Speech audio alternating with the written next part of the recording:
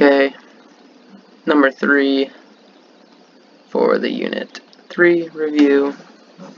Again, here we're solving by graphing. So what we want to do is rewrite this equation but in slope-intercept form. So y equals mx plus b. And what we need to do is add 10 to both sides of this first equation.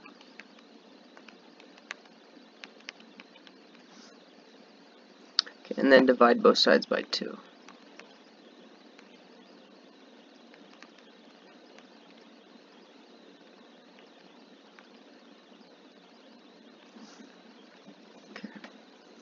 And really this should be written as y equals negative 1 over 2 times x plus 5.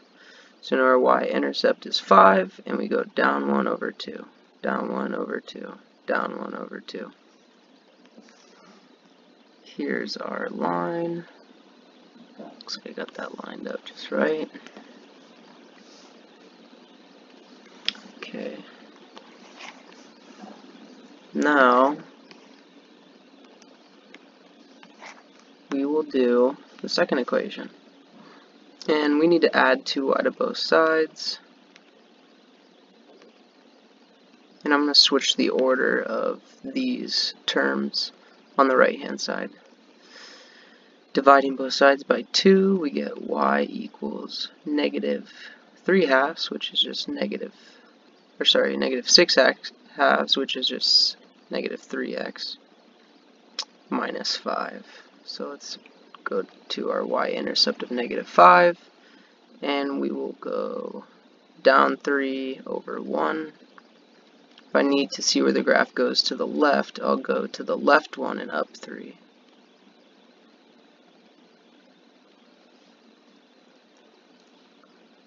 Is that 3? 1, 2, 3.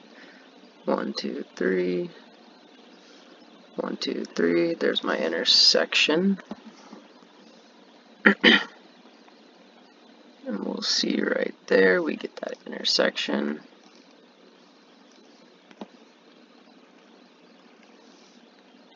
So here's our intersection.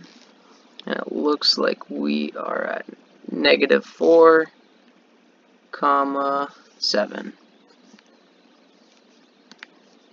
So our solution is negative 4, comma 7. Let's do one more of these.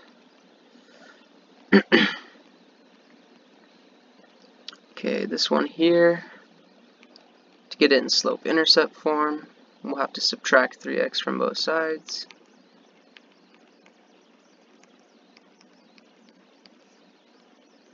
And then from here, we'll divide both sides by 2.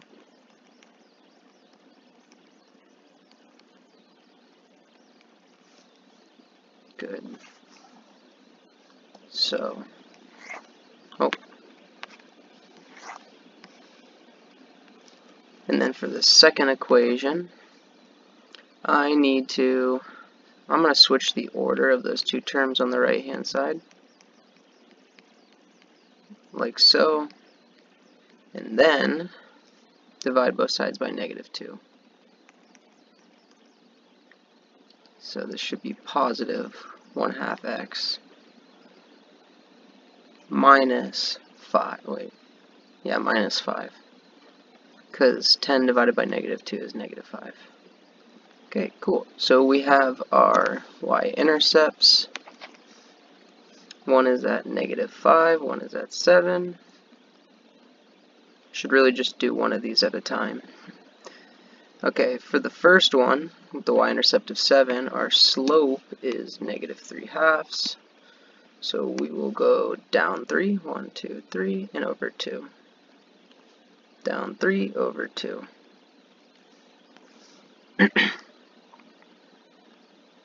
Please use a straight edge for this.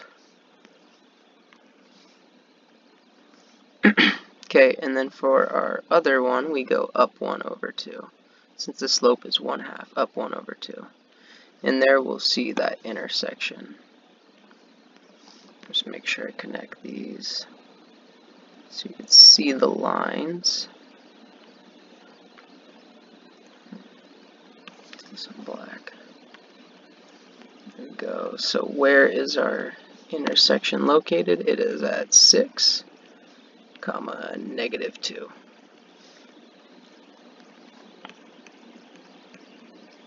Okay, so that was solving by graphing. We'll do a substitution problem. Let's do this one here. So fortunately we already have y isolated. Now what's good about that is we can just plug in what y is equal to into our original, our first equation, like so, negative 7x plus 4 times, we have 3x minus 8, and then we'll continue on with this equation, equals negative 7. Okay, now we have to distribute.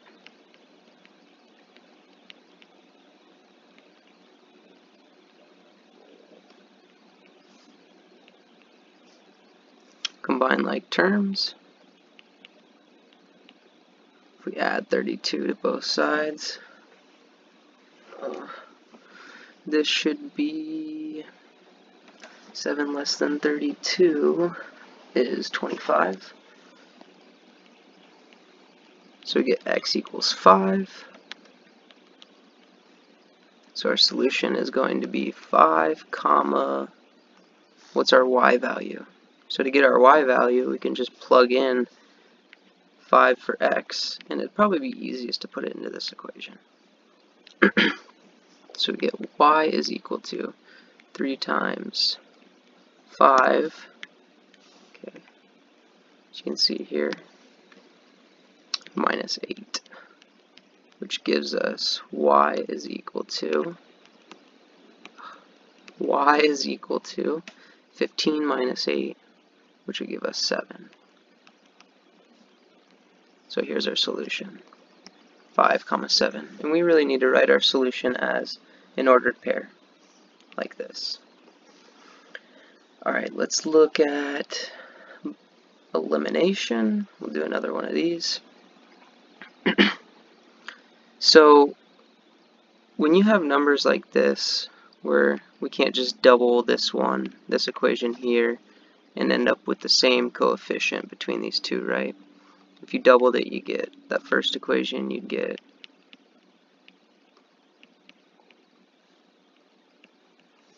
But notice that negative 10 is not the same as negative 6.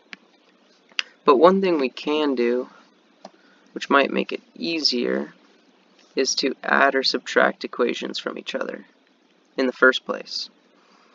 So it looks like if we add these, we'll just add them. Let's try it out. 4x minus 5x would be negative x. Negative 5y plus negative 6y is negative 11y. this is probably not the best way to do it, but it is a way to do it. Negative 12 and 15 is positive 3. So, now that I have this equation, we can look at these two equations, think, okay, which one would be easiest to get the same coefficient? And I'm thinking we can make this coefficient 4 we can make it even negative 4, so all we have to do is multiply this whole thing by 4. So I'm going to rewrite that first equation, 4x minus 5y equals negative 12. And then here I'm going to rewrite this equation after 4 has been distributed to each term. In other words, we've multiplied the whole equation by 4. negative 11x, that would be negative 44, sorry, negative 11y times 4 is negative 44y, and then 3 times 4 is 12. oh man, that stinks. What we end up with, we did do that, right, is these cancel when we add, right, 4x minus 4x is 0. when we add these two, we get negative 49y. And then when we add these two, we get 0. So we know y equals 0. So our solution, remember, our y value is 0. Now I got to find our x value.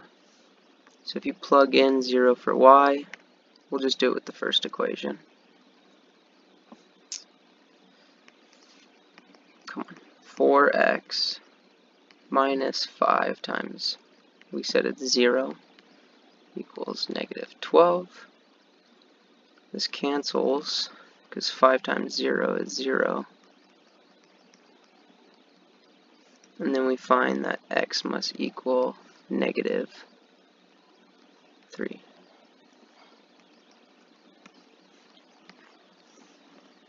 Alright, let's see if we could get one of these questions done. Okay, the cost of bo four boxes of pens and three boxes of pencils is $22.55.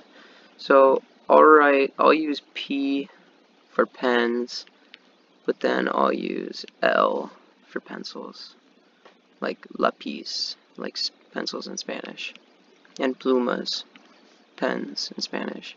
22.55. So this accurately describes that first scenario. Second scenario is three boxes of pens and two boxes of pencils is 1645.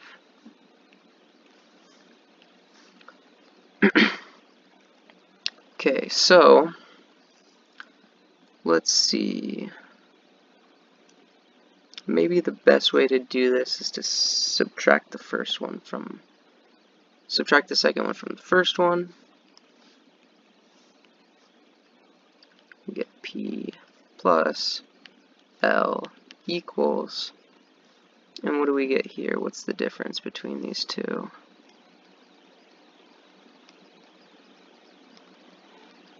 Oh, this pen is not working.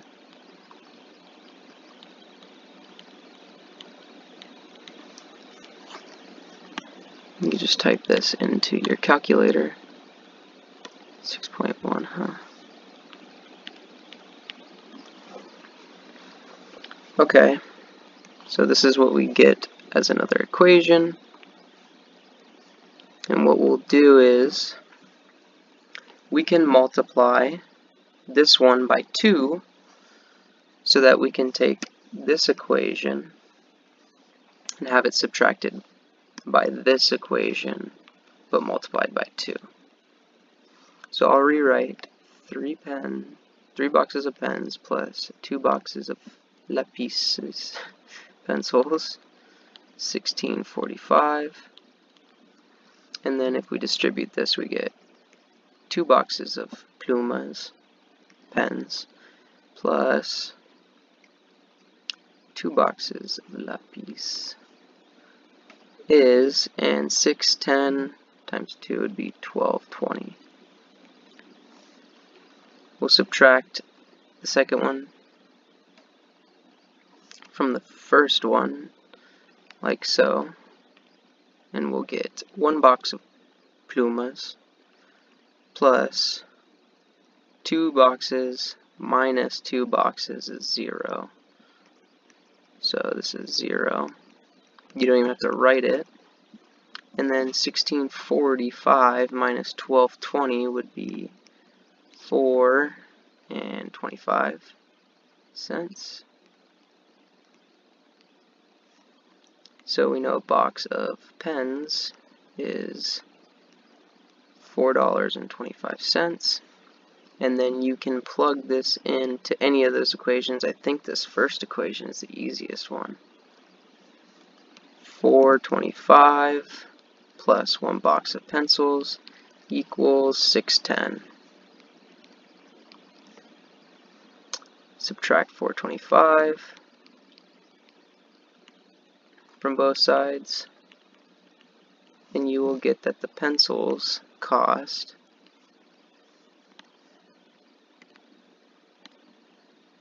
okay I'm out of time